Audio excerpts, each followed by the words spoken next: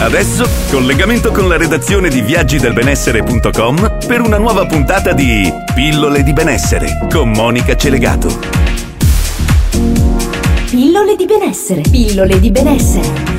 Buongiorno e ben trovati da parte di Monica Celegato, nuovo appuntamento con pillole di benessere e eh, oggi ho il gran piacere di ospita- ospitare il dottor Alessandro Biancardi che è uno dei fondatori di Alchimia Natura che ha mantenuto la sua promessa per parlarci degli oli essenziali. Buongiorno dottor Biancardi. Buongiorno a voi. Grazie intanto di essere tornato. Eh. E poi voglio dire, ehm, spero che avremo anche il piacere eh, di poter parlare presto con eh, la dottoressa Setti, che è l'altra eh, fondatrice insieme a lei di Alchimia Natura, giusto? Certamente. Certo. Perfetto. Allora, dottor Biancardi, noi adesso eh, ovviamente siamo qui come i bambini davanti ai negozi di caramelle per cercare di eh, cominciare a conoscere questi oli essenziali. Da dove mh, mm, partiamo, dottor Biancardi? Eh, sicuramente io partirei da una delle piante che mm. sono più utilizzate, sono sempre state utilizzate da sempre nell'aromaterapia, sì. e cioè la lavanda. La lavanda vera in questo caso. Eh, l'altra volta avevamo accennato che ci sono molte specie di lavanda, mm. la lavanda vera o lavanda angustifolia officinalis è la più utilizzata anche per quanto riguarda, è famosa anche per la, per la Provenza, per i profumi ed è una delle piante più utilizzate nell'aromaterapia. Ecco, quindi eh, voi di Alchimia Natura per esempio per fare l'olio essenziale di lavanda usate questa? Esatto, questa okay. è la, la, varietà più pregiata, ci sono anche altri tipi di lavande ibride, mm. diciamo così, che sì. sono, hanno degli altri effetti, eh, certo. però a livello diciamo, aromatologico è, è la migliore. Bene, allora con l'olio di lavanda, cioè cosa, a cosa può servire, come lo possiamo usare insomma? Sì, innanzitutto diciamo che è un rimedio popolare, quindi mm. tutte queste conoscenze dell'aromaterapia poi vengono sempre da diciamo, conoscenze popolari. Certo. È un uh, rimedio popolare che ha un profumo molto familiare, per esempio veniva usato un tempo come acqua cosmetica, una stringente, per esempio un suo uso comune per profumare la biancheria. Assolutamente, infatti mi ricordo i sacchettini di nonna eh, esatto. con, è, con, i fiorellini. È una pianta proprio che sa di famiglia, sì, sa di vero. unione, eh, mm. eh, esatto. L'olio essenziale di lavanda officinalis è distillato in correnti di vapore mm. e per avere un buon olio bisogna raccogliere la lavanda officinalis tra giugno e luglio quando il suo tempo balsamico è all'apice, il tempo balsamico è proprio quando eh, diciamo il tempo mh, dove la pianta esplica le sue azioni più, più forti, diciamo okay. in questo caso l'olio essenziale, quindi quando i, i fiori eh, si dice non sono ancora completamente aperti, eh, quindi quando iniziano le api ad andare sopra i fiori. Mm. L'olio essenziale di lavanda mm, ha molteplici proprietà, è per esempio un ricostituente tonico, mm. può essere usato nelle palpitazioni di origine nervosa, in questo caso si usa l'acqua aromatica che è, una, eh, diciamo, è l'acqua che esce dalla distillazione, dalla distillazione escono due prodotti, l'acqua aromatica sì. e l'olio essenziale vero e proprio. Mm. L'olio essenziale si diluisce in, in diciamo in piccolissime quantità nell'acqua, però circa per lo 0,1%, l'1% massimo e dà quindi uh, come sottoprodotto queste acque aromatiche o acque cobate che sono molto utili e vengono utilizzate, sono più leggere dell'olio, vengono ah. utilizzate in aromaterapia per esempio per fare tonici ah. e quindi tonici alla lavanda per esempio quindi per il viso e dicevo per le palpitazioni di origine nervosa veniva usata l'acqua aromatica con una benda e si metteva sul capo o dietro la nuca. Beh. Può essere usata anche negli, nelle vertigini, negli spasmi, nelle coliche, in questo mm-hmm. caso veniva bevuta eh, o viene bevuta l'acqua aromatica. Ah, quindi anche l'acqua aromatica si può bere? L'acqua aromatica si può okay. bere perché è un prodotto più leggero dell'olio essenziale, non ha controindicazioni, ha, a seconda dell'acqua aromatica proprio degli effetti, in questo caso nelle coliche andava molto, va molto bene la, nella lavanda in acqua aromatica. In acqua aromatica, perfetto. Sì. L'olio essenziale invece può essere usato in piccole quantità, chiaramente, perché bastano alcune gocce, alcune gocce nel pediluvio, per esempio, sì. miscelate in, eh, in sale, mm. e sono utili per esempio nella stanchezza, quindi farsi un bel pediluvio alla sera aiuta molto.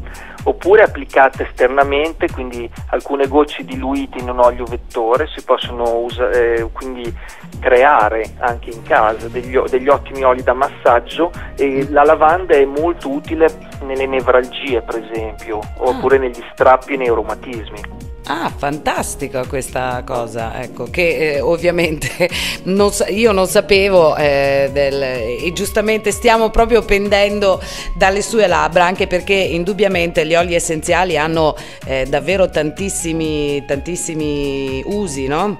Assolutamente, mm. sì. Poi? Quindi, eh, sì, per esempio, a seconda anche, per, per, per ricollegarmi al eh, al, diciamo, al massaggio a seconda anche dell'olio vettore, cioè dell'olio che usiamo come vettore per sì. fare il massaggio, possiamo dargli un, un input, no? per mm. esempio mm. dicevo negli strappi e negli edemi se usiamo un olio di arnica sì. che ha anche delle proprietà eh, antiedema, us- eh, assieme alla lavanda abbiamo questo effetto molto utile nelle nevralgie, nell'edema, negli strappi. Poi eh, la lavanda sicuramente ha un'azione analgesica, quindi contro il dolore, antidepressiva, mm. ma anche antisettica, antimicrobica. Tutti gli oli essenziali hanno, sono fortemente antimicrobici, quindi sì. tendono a proprio tenere bassa la carica batterica. Ci sono tanti studi che lo affermano ormai.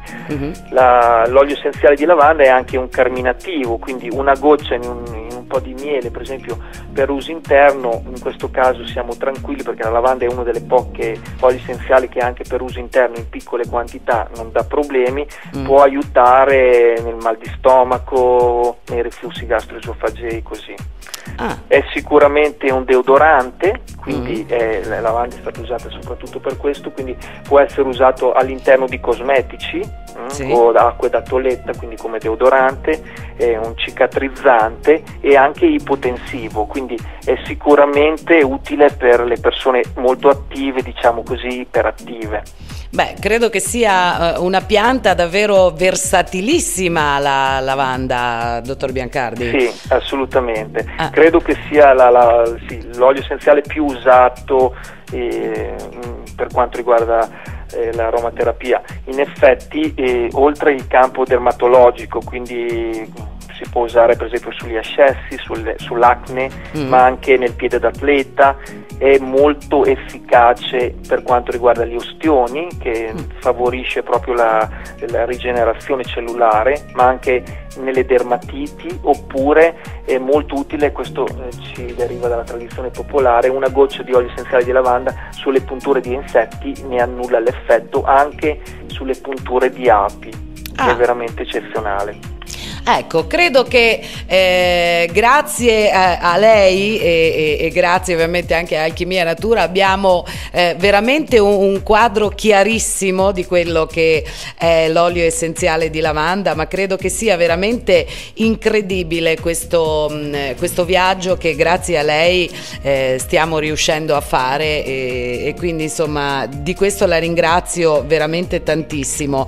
E, mh, mm, so che comunque mh, tutti questi prodotti prodotti e tantissimi altri eh, si possono vedere e trovare nel, nel sito no, di Alchimia Natura che è www.alchimianatura.it. Quindi olio essenziale di lavanda, dottor Biancardi, penso che sia uno di quelli che in casa comunque bisognerebbe avere. Esattamente, mm. l'olio, proprio il kit eh, da pronto soccorso è costituito da pochi oli tra cui quello di lavanda, eh. perché anche nelle lombalgie, nei dolori muscolari, ma anche nei siste- problemi del sistema respiratorio, quindi bronchiti, eh, infezioni della gola, in questo caso si usano suffamigi oppure si usano eh, aerosol, mm. ma anche per il sistema urogenitale, quindi per le cistiti. La lavanda è, è sempre stata usata appunto per fare lavande vaginali mm. ed è molto utile nella leucorrea, quindi perdite bianche e anche nella dismenorrea.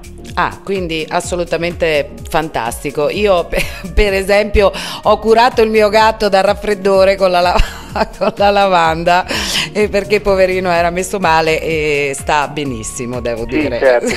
Tra, Esatto. gli- tra l'altro gli animali sono molto ricettivi, quindi Mm. bastano piccolissime dosi per loro. Sì, infatti, infatti, eh, ma eh, devo dire che per esempio sul mio gatto ha avuto un effetto straordinario, eh, perché sono riuscita, era veramente messo male, poverino, e, e sono riuscita veramente in pochi giorni a- ad avere un gatto nuovo, se così possiamo dire.